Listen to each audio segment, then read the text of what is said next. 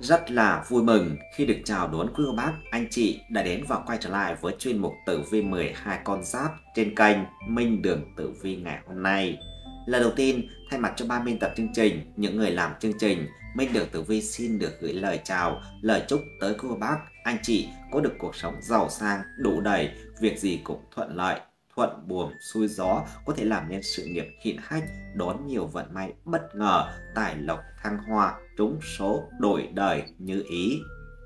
Và nếu như quý cô bác anh chị là lần đầu tiên đến với kênh Minh Đường Tử Vi thì hãy hoan hỷ đăng ký kênh ở chung ở phía bên dưới để được đón xem những video mới nhất mà 30 tập trình Minh Đường Tử Vi đăng tải cũng như là thấy nội dung video hay, hữu ích thì hãy like, chia sẻ video cho mọi người cùng xem. Quý cô bác, anh chị cũng đừng quên để lại ý kiến đóng góp ở phía bên dưới phần bình luận. Kênh Minh Đường Tử Vi vô cùng cảm ơn quý cô bác, anh chị. Trong nội dung video ngày hôm nay mà 30 tập bình trình gửi tới quý cô bác, anh chị đó chính là nội dung như sau. Chấn động, tiên tri tiết lộ bí ẩn sự thật bất ngờ về cuộc đời của tuổi đinh mùi sinh năm 1967, từ tuổi 58 đến thời đổi vận, số mệnh giàu sang, hậu vận sẽ được an nhàn, cuộc sống vô cùng viên mãn. Kính thưa quý khán giả, và đặc biệt là quý mệnh chủ tuổi đinh mùi sinh năm 1967 kính mến, người xưa có quan điểm rằng, trời sinh mỗi người mỗi số phận và sống chết cũng do số phận định đoạt riêng cho từng người, hành sự tại nhân, vạn sự tại thiên. Mọi may mắn đều do số phận ông trời an bài, phú quý sang hèn của mỗi người đều do số phận quyết định và cũng không có số phận nào là thập toàn thập mỹ. Nhưng chỉ cần mệnh chủ nắm bắt được tử vi cuộc đời của mình thì sẽ xoay chuyển được càn khôn, đạt được mọi sự như ý, vạn sự như mơ. Muốn gì được nấy, cầu tài, cầu lộc đều vẹn toàn, lại tránh xa được đại hạn, vận xui, khiến vận trình thêm hanh thông, may mắn và suôn sẻ hơn rất nhiều. Khi ấy khách đến chơi nhà sẽ chỉ toàn là thần tài, thần may mắn, quý nhân, tiền bạc và giàu có, hung tinh, kẻ tiểu nhân cũng biết sợ mà tránh xa. Trong số 12 con giáp, mới đây nhất giới tử vi nhận định tuổi đinh mùi sinh năm 1967, từ 58 tuổi tiền tài của cải sẽ liên tục ập đến với quý mệnh chủ, dù có nghèo khổ, nợ nừng thì cũng sẽ trả sạch, nhưng chỉ khi mệnh chủ nắm bắt được ba cơ hội vàng này, hãy chú ý theo dõi và đón nhận mệnh số may mắn của mình ngay sau đây quý khán giả nhé. Trước khi đến với phần luận giải chi tiết về vận trình tử vi của cuộc đời tuổi đinh mùi sinh năm 1967, thì Minh Đường Tử Vi sẽ cùng quý khán giả điểm nhanh tính cách của người tuổi đinh mùi 1967 có đặc điểm gì nổi bật ngay sau đây. Trong 12 con giáp, tuổi đinh mùi được xem là biểu tượng của tính ôn hòa, thuần hậu. Trẻ em tuổi đinh mùi thường hiền lành, ngoan ngoãn, dễ bảo, đôi khi còn có sự nhút nhát, bẽn lẽn, đáng yêu, dễ tạo thiện cảm, những nét tính cách này có thể theo cả tới khi trưởng thành, bởi đây dường như là đặc trưng cơ bản nhất của người tuổi đinh mùi. Nếu đường đời được thuận lợi, thì sẽ có được vẻ phong nhã, thanh nhàn. Nhưng nếu cuộc sống không được như ý, gặp nhiều vất vả, gian truân thất bại, người tuổi đinh mùi lại trở nên rất bi quan, ủy mị, chán trường. Với cách hành sự luôn thể hiện sự chân thành, ấm áp, lại thêm vẻ thanh nhã, đinh mùi thường được kính trọng, vạn người ngưỡng mộ, họ luôn sống theo nguyên tắc tự do, phóng khoáng, và đối xử với người khác bằng sự nhân hậu, khoan dung, là người giỏi quán xuyến việc lớn nhỏ trong nhà, bản tính là rất yêu trẻ con và vật nuôi nên rất phù hợp với đời sống gia đình. Dù có tính cách ưa sự nhẹ nhàng, hòa hảo, không thích tranh cãi, xung đột, nhưng họ không bao giờ khuất phục trước bất cứ một sự đè nén, chèn ép nào, không bao giờ có thể ép buộc người họ làm điều họ không muốn. Trong sáng và nhân hậu là nét tính cách cao quý của tuổi này, họ thường sẵn sàng giúp đỡ những người đang trong cơn hoạn nạn, trong cuộc đời, người tuổi đinh mui hiếm khi phải lo lắng về ba điều thiết yếu trong đời sống, gồm cái ăn, cái mặt, nơi ở. Dù đi bất cứ đâu thì họ cũng dễ dàng kết bạn vì họ luôn đối xử với người xung quanh rất chân thành, trung thực. Đinh Mùi được cho là dễ có đời sống hôn nhân mãn nguyện, họ không chỉ được bạn đời yêu thương mà còn được họ hàng quý mến. Dân gian cho rằng tuổi Đinh Mùi sinh vào các mùa đều tốt, riêng mùa đông là vất vả hơn vì mùa đông ít có cỏ để ăn. Tuy vậy, Thực tế là dù hoàn cảnh xung quanh có như thế nào thì Đinh Mùi cũng không cần quá lo. Bởi vận số tuổi này may mắn sẽ được quý nhân phù trợ, nhận được sự chủ động giúp đỡ từ những người xung quanh, dù trong cảnh khốn cùng thì vẫn có thể xoay sở vượt qua.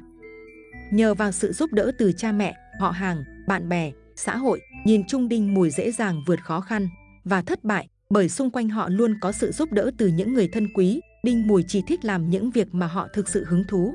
Họ nhanh chóng nhận ra điều mình muốn theo đuổi trong cuộc đời một cách rất tự nhiên.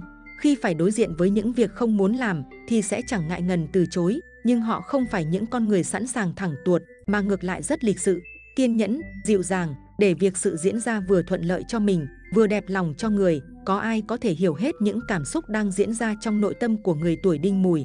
Họ không muốn để lộ suy nghĩ của mình ra ngoài cho người khác hiểu, chỉ trừ khi họ đang trong cơn tức giận tột cùng.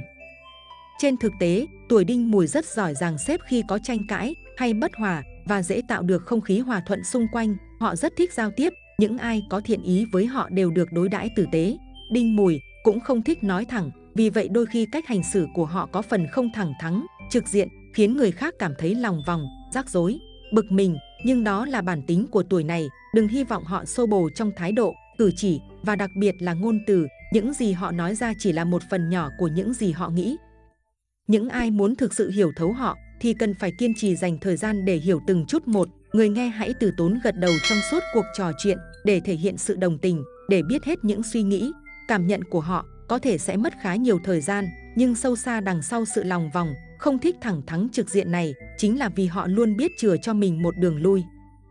Vì tính cách mềm mỏng, hơi thiếu quả quyết, nên người tuổi đinh mùi cần hợp tác với những người có tính cách mạnh mẽ, bởi chỉ có kỷ luật thép thì họ mới bớt sự thông dong, nhàn hạ để bắt đầu tận dụng hết những khả năng của mình và làm việc thật sự chăm chỉ để có hiệu quả. Tuổi đinh mùi ưa sống trong môi trường quen thuộc, gắn bó rất mật thiết với gia đình, người tuổi đinh mùi quan trọng đồ ăn hợp khẩu vị. Ngày sinh nhật và những dịp lễ Tết, kỷ niệm, họ thường kỷ niệm những ngày trọng đại đó đối với đời sống cá nhân một cách khá rình ràng. Theo kiểu thích thể hiện, bởi thực sự họ rất quan trọng những dịp này, họ có thể sẽ cảm thấy vô cùng thất vọng. Dường như đinh mùi mang trong mình nỗi buồn và sự đa cảm từ trong bản chất, họ luôn nhìn thế giới một cách khá tiêu cực. Vì vậy, họ cũng luôn mong những người xung quanh sẽ vượt tinh thần họ dạy. Họ rất dễ bị lạc đường, dễ buồn bã, dễ đưa ra những lựa chọn sai khi đi mua sắm. Phụ nữ trẻ tuổi đinh mùi đặc biệt thích xuất hiện ấn tượng trong mắt mọi người. Họ có nhiều ham thích đặc biệt với thời trang. Mỗi ngày họ sẵn sàng dành nhiều thời gian để làm đẹp. Họ luôn hành xử duyên dáng và nề nếp, thích trang trí nhà cửa với hoa tươi. Phụ nữ trung niên tuổi đinh mùi lại rất quan tâm tới vệ sinh cá nhân, luôn gọn gàng và ăn mặc đẹp mắt. Phụ nữ trẻ tuổi đinh mùi cũng thích thể hiện tình yêu một cách không che giấu. Họ rất tin tưởng vào người mình yêu và luôn muốn ở bên người đó từng giây, từng phút. Đối với những người theo đuổi mà họ không hề có hứng thú thì họ sẽ chẳng mảy may bận tâm đến. Người tuổi đinh mùi cũng khá mâu thuẫn, đôi khi nói không là có, nói có là không. Tuổi này giỏi che giấu điểm yếu bằng sự lãnh trí, biết đạt được điều mình muốn đôi khi bằng những tiểu xảo. Khi cần thiết thì họ rất giỏi nhõng nhẽo, quấy giày, cốt là để đạt được thứ mình muốn. Với bản tính chân thành và điềm tĩnh, thêm vào đó là vẻ ngoài biết tỏ ra đáng thương khi cần, họ luôn biết cách thuyết phục người khác rất hiệu quả. Họ không bao giờ làm tổn thương bạn bè, đôi khi có thể từ bỏ một mối quan hệ để tránh khỏi những cãi vã, xung đột đang xảy ra. Đinh mùi nhạy cảm và đôi khi thích tìm niềm vui trong những mơ màng, ảo tưởng hơn là những cuộc vui thực sự. Bản thân cũng thích thu hút sự chú ý của người khác và nhận được sự thắng phục đối với năng lực bản thân.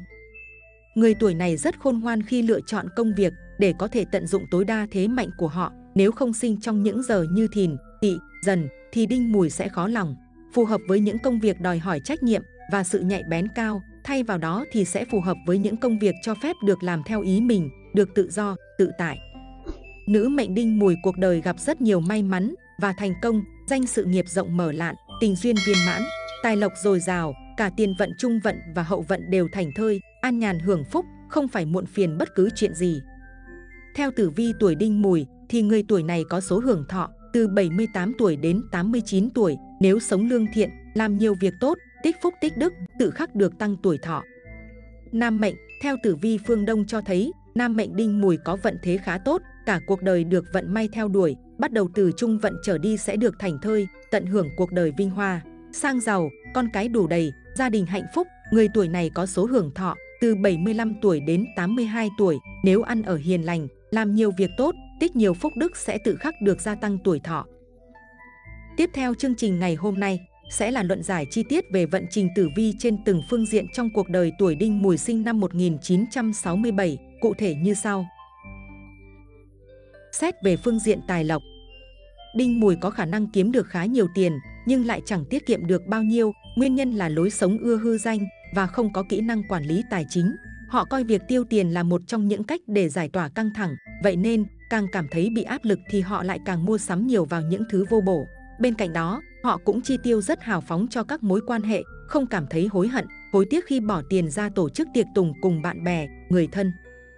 Nếu không học cách chi tiêu hợp lý, không sớm thì muộn họ cũng sẽ rơi vào cảnh cạn kiệt về tài chính, nghị lực mềm yếu, là những nhược điểm lớn nhất của Đinh Mùi. Khi đối mặt với khó khăn họ dễ thoái chí nản lòng và đánh mất phương hướng. Họ thường xuyên né tránh thực tế, không dám đương đầu trực tiếp với thử thách. Họ cần có ý thức rèn luyện ý chí để bản thân trở nên mạnh mẽ hơn. Ngoài ra, Đinh Mùi thường ngại gian khổ trong công việc, họ chỉ tỏ ra nhiệt tình, chăm chỉ với những việc mà họ yêu thích, còn đối với những nhiệm vụ khiến họ cảm thấy áp lực, thì họ sẽ nhanh chóng bỏ cuộc. Chỉ khi họ chấp nhận hy sinh công sức và trí tuệ để nghiên cứu chuyên sâu thì họ mới có thể bứt phá trong sự nghiệp. Nam mệnh đinh mùi hợp làm ăn với tuổi mậu thân và canh tuất. Về đường tài lộc nếu kết hợp thì trong công việc mọi chuyện sẽ vô cùng thuận lợi, may mắn và thu về nhiều tiền tài. Tuổi đại kỵ là tuổi nhâm tý, bính thìn, mậu ngọ, giáp tý, bính ngọ. Giáp thìn và canh tý là những tuổi đại kỵ với nam mệnh đinh mùi. Nếu kết hợp với những tuổi này thì mọi chuyện sẽ gặp đôi chút khó khăn, trở ngại. Ngày giờ xuất hành hợp nhất, nếu xuất hành đi xa hay thực hiện những công việc lớn, quan trọng thì năm mệnh đinh mùi nên khởi hành vào giờ chẵn, ngày lẻ và tháng chẵn thì mọi chuyện sẽ vô cùng suôn sẻ, gặp nhiều may mắn thuận lợi, thu được nhiều kết quả, vạn sự như ý, đại cát đại lợi, thành công trên mọi lĩnh vực. Nữ mệnh đinh mùi tuổi hợp làm ăn nên lựa chọn các tuổi hợp với mình về đường tài lộc. Trong công việc thì mọi chuyện sẽ thuận buồm xuôi gió, làm ăn phát đạt, đó là tuổi đinh mùi, ất tỵ. Tuổi đại kỵ là nhâm tý và đinh mùi, đây là hai tuổi xung khắc với tuổi đinh mùi nữ mệnh. Nếu kết hôn hay kết hợp chung trong công việc thì chỉ đem đến thất bại, thua lỗ hay gian dở trong hôn nhân. Tài lộc kiếm được tiền là phát tài, phát lộc, song biết giữ tiền chi tiêu ít cũng là một dạng phát tài. Nhiều người tài lộc vượng, tuy không kiếm được nhiều tiền nhưng lại tiêu rất ít. Cũng có người tài lộc vượng mà chẳng tiết kiệm được là bao, đó là vì mệnh họ chữ tài không hậu, vận tài lộc lưu niên không được tốt, tiền tiết kiệm được nhiều mà tiêu hết cũng nhanh. Người tuổi đinh mùi khẳng khái, chính trực, quản giao, quan hệ xã hội tốt, chính vì vậy mà tài lộc cũng không tồi, cả đời không lo cơm áo. Bản tính lạc quan, yêu đời, nhân duyên tốt, lại không bao giờ so tính thiệt hơn, nên dù kiếm được tiền, nhưng người này không có suy nghĩ tiết kiệm. Số tiền dành dụng được cũng không quá nhiều, một khi tiền bạc dư giả sẽ nghĩ ngay cách để ăn tiêu, nhiều khi hoang tàn vung tay quá chán. Đây là người yêu cầu rất cao về vật chất, thích những đồ xa xỉ, quần áo phải là hàng hiệu đắt tiền, khi còn trẻ thường hay lãng phí tiền bạc. Tới khi kết hôn thì dần dần mới nhận thức được tầm quan trọng của đồng tiền, hậu vận kinh tế dần khấm khá, bản thân mệnh cách tuổi đinh mùi đã có số vượng tài. Đặc biệt, từ 58 tuổi sẽ xuất hiện vô số cơ hội phát tài bất ngờ, hãy cứ chiêm nghiệm thực tế sẽ thấy rất rõ điều này.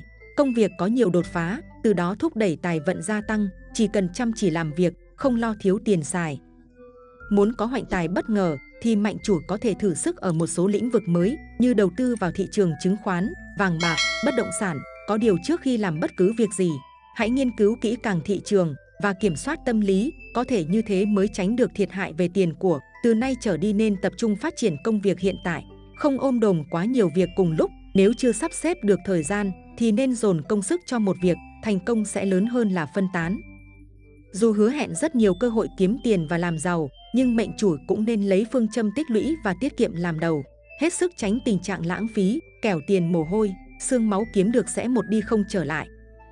Có thời điểm đinh mùi sẽ đối mặt với nhiều khó khăn, áp lực về tài chính, cả khách quan và chủ quan, tuy nhiên ảnh hưởng không quá lớn. Trong gian khó mệnh chủ vẫn tìm thấy cơ hội để vươn lên hơn người, quan trọng là phải biết phấn đấu và không ngừng học hỏi. Người tuổi đinh mùi có khả năng kiếm được khá nhiều tiền, nhưng chẳng tiết kiệm được bao nhiêu, nguyên nhân là lối sống ưa hưởng thụ và không có kỹ năng quản lý tài chính.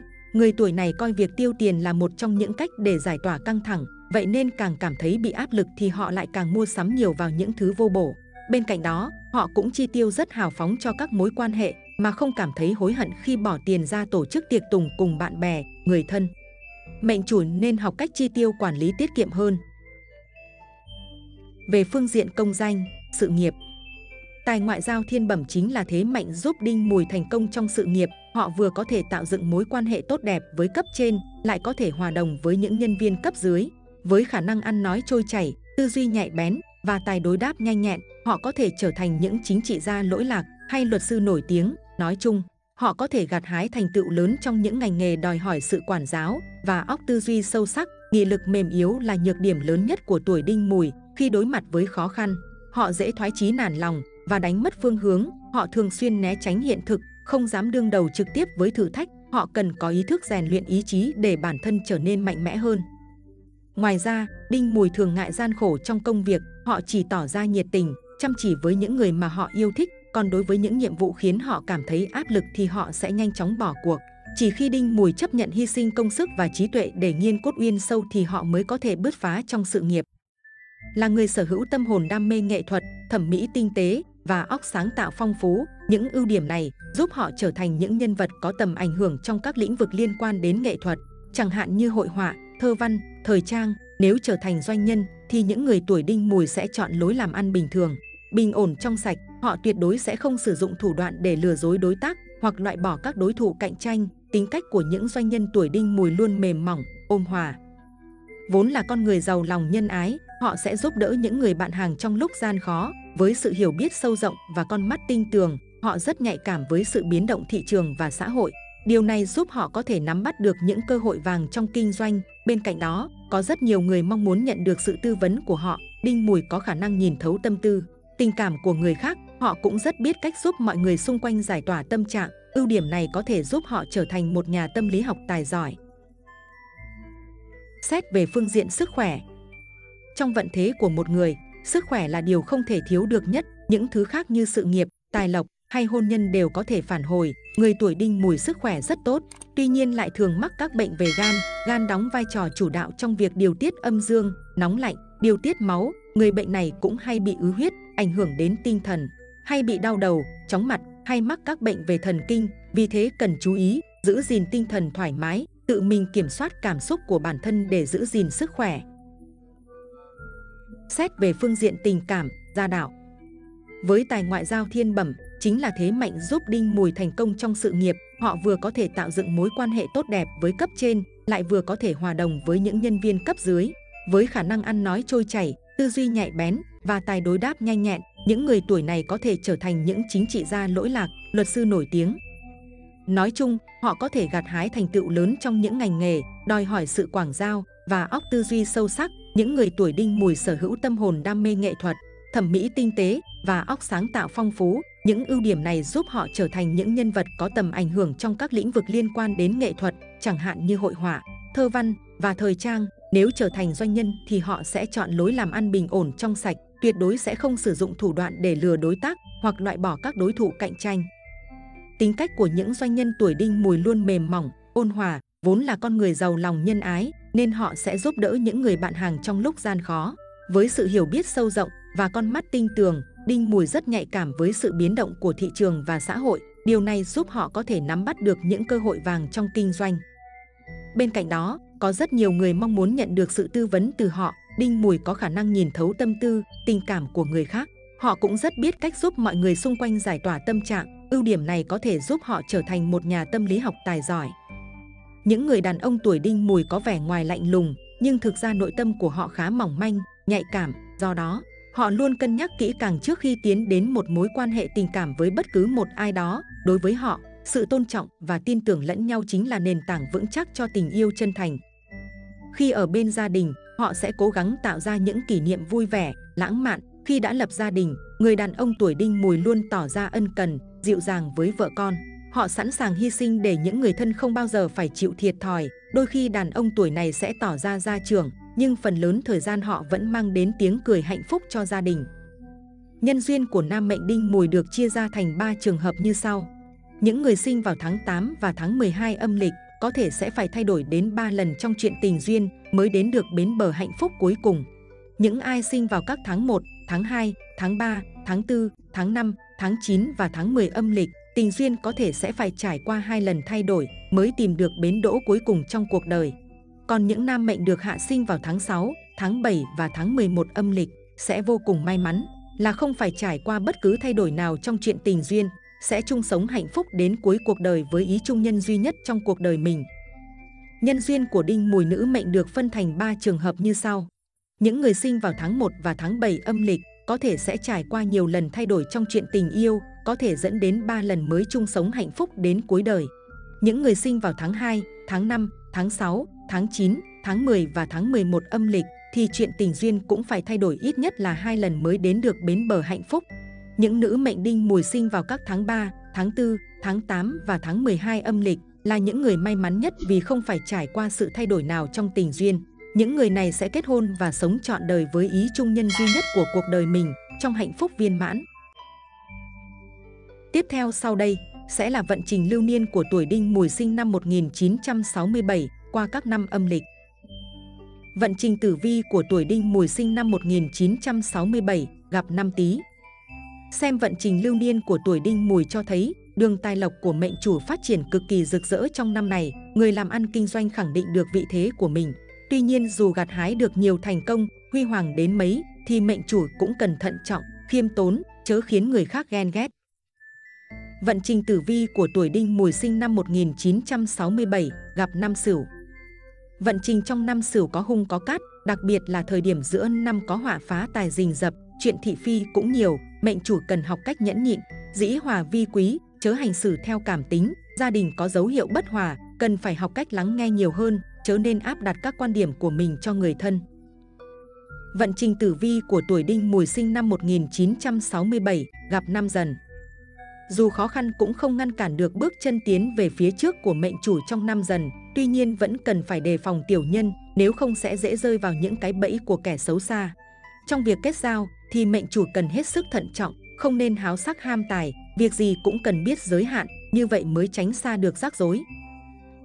Vận trình tử vi của tuổi đinh mùi sinh năm 1967 gặp năm mão. Căn cứ vận trình lưu niên tuổi đinh mùi trong năm mão cho thấy mệnh chủ có cơ hội phát tài bất ngờ, sự nghiệp cũng hanh thông hơn khoảng thời gian trước đó nhiều. Trong nhà nếu xảy ra chuyện không như ý, mệnh chủ cần phải bình tĩnh tìm cách xử lý, không nên nghĩ đến việc tìm kiếm niềm vui ở bên ngoài. Vận trình tử vi của tuổi đinh mùi sinh năm 1967 gặp năm thìn. Do bị hung tinh kiếp tài ảnh hưởng nên trong năm này, bệnh chủ sẽ phải vất vả chạy ngược chạy xuôi mà chưa chắc đã được như ý muốn. Trong năm có dấu hiệu chuyện thị phi xuất hiện, mệnh chủ nên chú ý giữ quan hệ hòa hảo với mọi người, không nên cố chấp khăn khăn với quan điểm của mình, gặp chuyện nên có cách ứng biến phù hợp. Vận trình tử vi của tuổi đinh mùi sinh năm 1967 gặp năm tỵ cho thấy chính ấn mang lại tác động tích cực cho sự nghiệp của Đinh Mùi, chỉ cần mệnh chủ chịu bỏ ra công sức, cố gắng không ngại khó, không ngại khổ, thì ắt gây dựng được vị thế của mình, khiến nhiều người ngưỡng mộ. Trên phương diện tài lộc của mệnh chủ, có cơ hội phát tài bất ngờ, sau đó cần có cách chi tiêu đầu tư hợp lý thì mới giàu được. Vận trình tử vi của tuổi đinh mùi sinh năm 1967 gặp năm ngọ.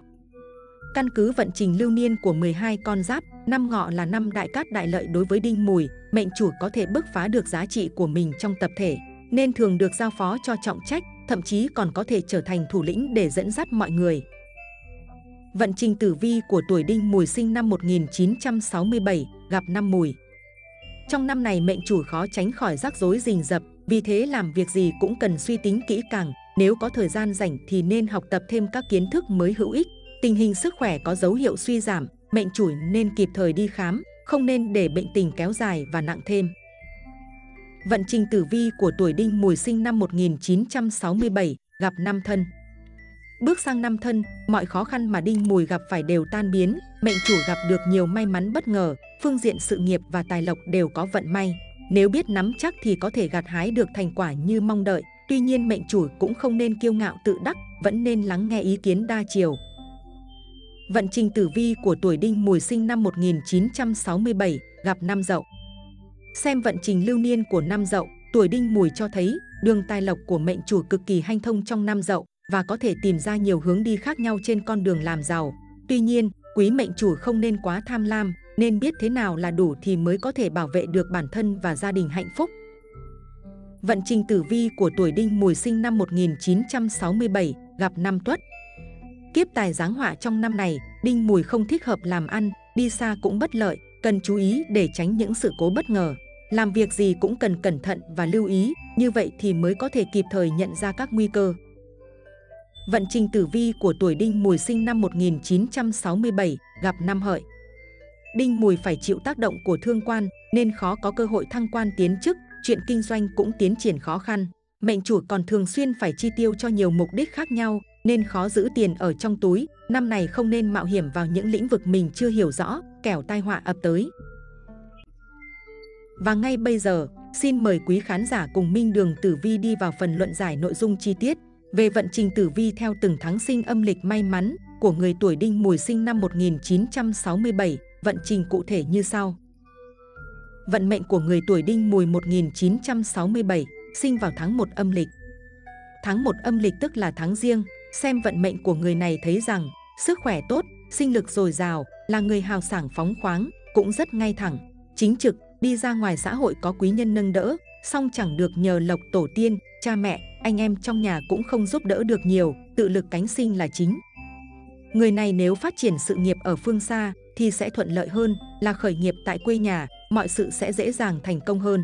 Đường tài lộc của con giáp này không tồi, song cũng vẫn có điểm báo phá tài nên thận trọng hơn để giảm thiểu thiệt hại xuống mức thấp nhất. Vận mệnh của người tuổi đinh mùi 1967, sinh vào tháng 2 âm lịch. Tháng 2 âm lịch là tiết kinh chập, người này tính tình có phần cố chấp, tuy rằng được quý nhân độ mệnh, nhưng quan lộc không dài. Sự nghiệp phát triển đến một ngưỡng nào đó dễ bị suy thoái, người này có vận mệnh cuộc đời không được tốt cho lắm. Thắng sinh này khiến cho người này tuy thông minh, đỉnh ngộ, có tài năng, có thực lực, cũng được gia đình hỗ trợ rất nhiều, nhưng quan lộc không bền, tại chất tại vị không được lâu dài. Đường tài lộc thăng trầm bất định, khi thì tiền tài ào ào đổ về nhà, khi thì không có một xu dính túi. Điều này phần nhiều là do đinh mùi bị tiểu nhân quấy phá. Tiểu nhân ở ngay bên cạnh mình, hiểu rõ về mình, nên khi nổi tâm phản bội thì dễ khiến người tuổi này điêu đứng, chịu đủ mọi tổn thất to lớn về mình. Người này nên thận trọng, chớ để kẻ xấu có cơ hội lợi dụng mà bán đứng mình. Từ nhỏ nên tự rèn luyện nguyên tắc, xử lý công việc một cách ngay thẳng, chính trực, không để cảm xúc dẫn đường mà mắt phải sai lầm. Vận mệnh của người tuổi đinh mùi 1967, sinh vào tháng 3 âm lịch. Tháng 3 âm lịch theo lịch vạn niên là tiết thanh minh, người này tài trí hơn người, ra đời được nhiều bạn bè giúp đỡ, gia đình có cô ăn của để nên cũng hỗ trợ được phần nào cuộc sống. Hôn nhân, hạnh phúc viên mãn, cuối đời vẫn được hưởng thái bình, cuộc đời của người này khá suôn sẻ, thuận lợi, gặp dữ cũng hóa lành, tiền đồ rộng mở, có thể theo nghiệp kinh doanh. Người này có tài năng, có thực lực, được đánh giá khá cao, họ may mắn có cuộc đời êm ả, không phải trải qua nhiều sóng gió, khó khăn mà được hưởng hạnh phúc, phiêu diêu tự tại.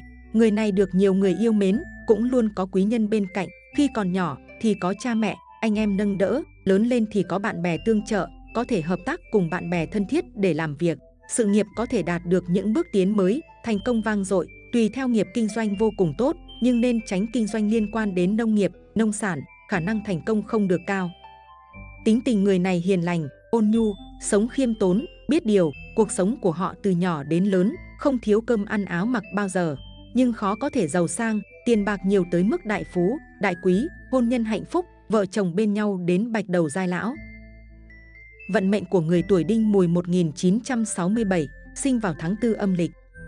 Tháng 4 âm lịch trùng với tiết lập hạ, người này lúc nào dáng vẻ cũng tất bật, vội vàng, có tài năng đấy, nhưng chưa chắc được hưởng phúc.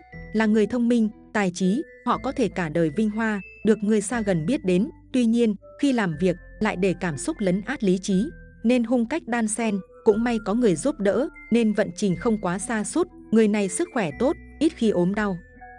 Có điều người này phúc lộc cha ông mỏng, không được hưởng nhiều sự trợ giúp của gia đình, có tài, có trí, luôn chăm chỉ làm việc nhưng chưa chắc đã thắng được mệnh trời.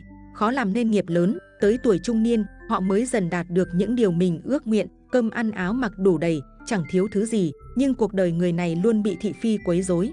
Chuyện khẩu thiệt thị phi vây quanh, bản thân họ khó giữ được bình tĩnh, hay gây mâu thuẫn với người khác, nhân duyên vì thế kém vượng, tài lộc khá ổn, nhưng vẫn có những lần tổn tài lộc nhỏ. Vận mệnh của người tuổi đinh mùi 1967, sinh vào tháng 5 âm lịch. Tháng 5 âm lịch là tiết mang trùng, người này phải chịu nhiều vất vả trong cuộc đời, cũng phải trải qua nhiều biến cố lớn. Họ là người có nghị lực, có ý chí phấn đấu, cũng sống biết điều, kính trên nhường dưới, biết tiến, biết lùi. Sông đường tài lộc có phần ảm đạm, đôi khi cũng vướng phải chuyện khẩu thiệt thị phi. Người này tự lực, tự cường, không dựa dẫm vào ai, mà tự nuôi sống bản thân bằng chính sức mình. Người này không có sự nghiệp cha ông để lại, cũng không được gia đình hỗ trợ gì nhiều, phải chịu nhiều khổ cực, sớm ra đời làm việc, họ cũng lập gia đình khá sớm, gánh nặng trên vai càng thêm nặng. Thời trai trẻ cuộc sống khá vất vả, tuy nhiên, người này không vì thế mà suy nghĩ bi quan, tiêu cực, họ vẫn là quan, đối nhân xử thế chỉnh chu, khiêm nhường, ham học hỏi, cũng thường xuyên giúp đỡ mọi người. Ông trời chẳng phụ lòng người, sự nghiệp của người này cũng được nhiều người tương trợ, từ tuổi trung niên, vận trình cũng dần tăng tiến, hậu vận vô cùng tốt đẹp, tài lộc dồi dào, hạnh phúc viên mãn. Vận mệnh của người tuổi đinh mùi 1967, sinh tháng 6 âm lịch. Tháng 6 âm lịch rơi vào tiết tiểu thử, người này tính tình thoải mái, vui vẻ, không hay lo nghĩ nhiều, mà suy nghĩ lạc quan, tích cực, cuộc đời cát hung họa phúc đan sen, hôn nhân hạnh phúc mỹ mãn, con cháu hiển vinh phú quý. Theo lịch vạn niên, người này sống tiêu diêu, tự do tự tại, không ưu phiền được bố mẹ hỗ trợ, anh em yêu thương. Nhưng đó chỉ là sự hỗ trợ về mặt tinh thần, còn thiên tài thì không giúp được nhiều, mà toàn bộ do tuổi đinh mùi tự dựa vào chính sức mình để làm ra. Người này không quá tham vọng, cũng không đặt ra lý tưởng gì cao xa, biết sống đủ với mình, nên ăn nhàn tận hưởng cuộc sống ổn định. Họ không phải đối mặt với nhiều sóng gió trong đời mình, cuộc sống gia đình hạnh phúc, con cháu thảo hiền, tuổi già hưởng phúc, không có gì phải tiếc nuối. Vận mệnh của người tuổi đinh mùi 1967, sinh vào tháng 7 âm lịch.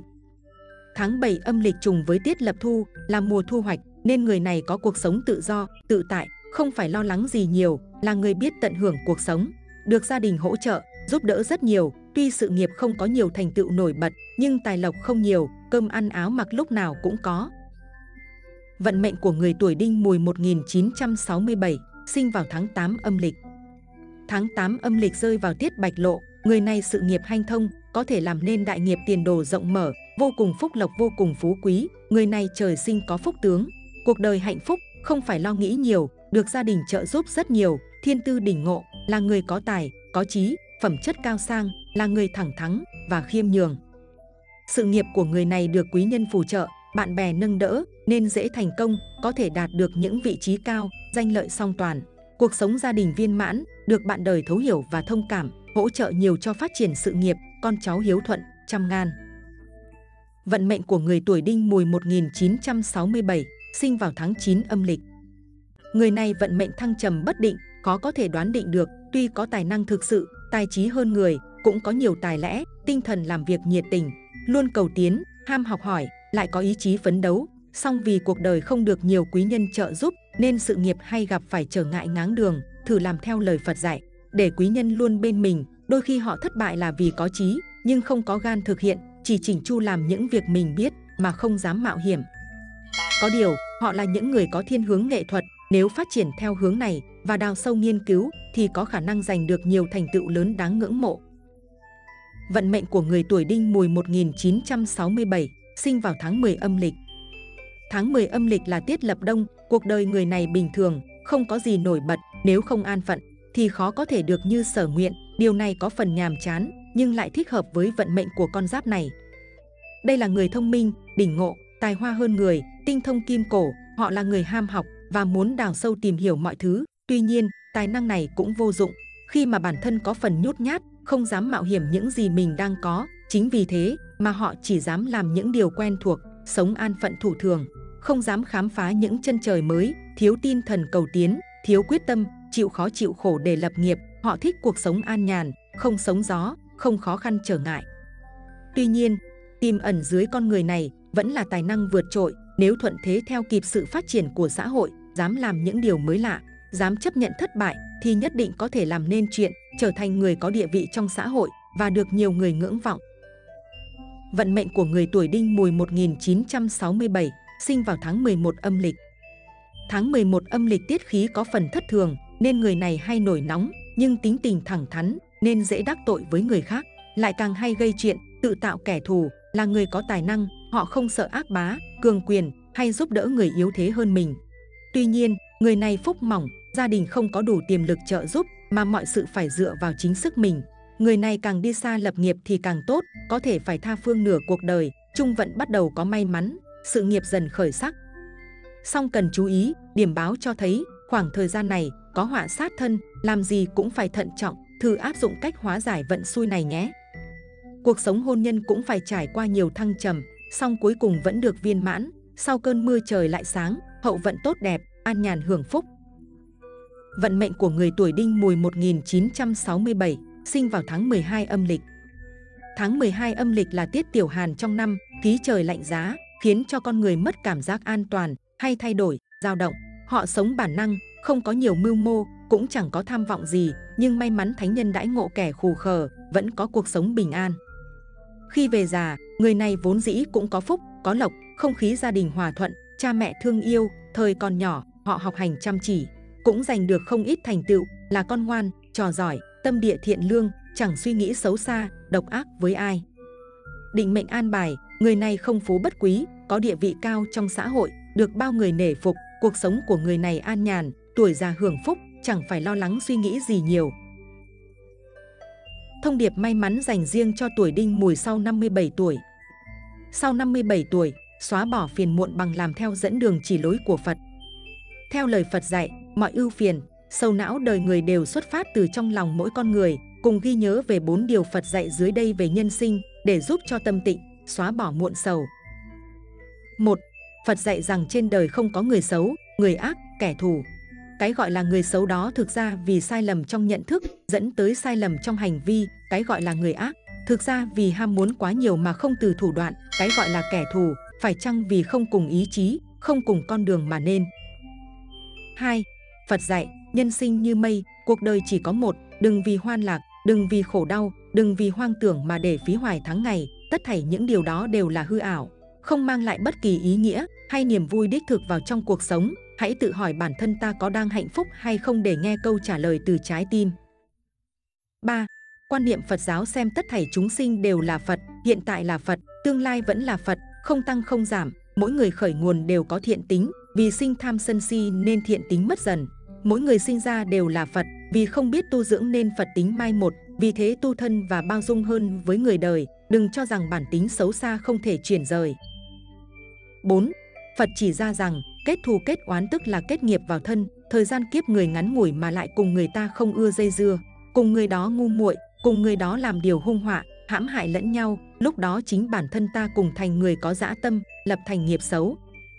Phật dạy về nhân sinh, nhớ và làm theo thì không chỉ thanh thản hơn, mà còn tích cực hơn, lạc quan hơn. Trên đời có ai mà không muốn thanh thản, có ai mà không muốn thanh tâm, chỉ vì nỗi nhân tình thế thái chuyển rời, tạo hóa xoay vần đưa đến những tình huống chớ trêu. Những lúc ấy, đôi ba dòng ngắn ngủi ở trên, hy vọng sẽ giúp các bạn tự tìm thấy lối ra cho riêng mình. Chìa khóa ở ngay trong tim ta, Phật soi đường, ta tự đi tìm, thấy hay không còn nhờ vào cơ duyên và tu tập của từng người. Vâng, quý vị thân mến, trên đây là toàn bộ nội dung chương trình của Minh Đường Tử Vi. Minh Đường Tử Vi hy vọng quý vị có thể chiêm nghiệm được những điều bổ ích nhất để vận trình hanh thông, tiền đồ rộng mở và luôn hạnh phúc bình an và giàu có. Chương trình đến đây là hết. Xin chào và hẹn gặp lại trong các chương trình lần sau.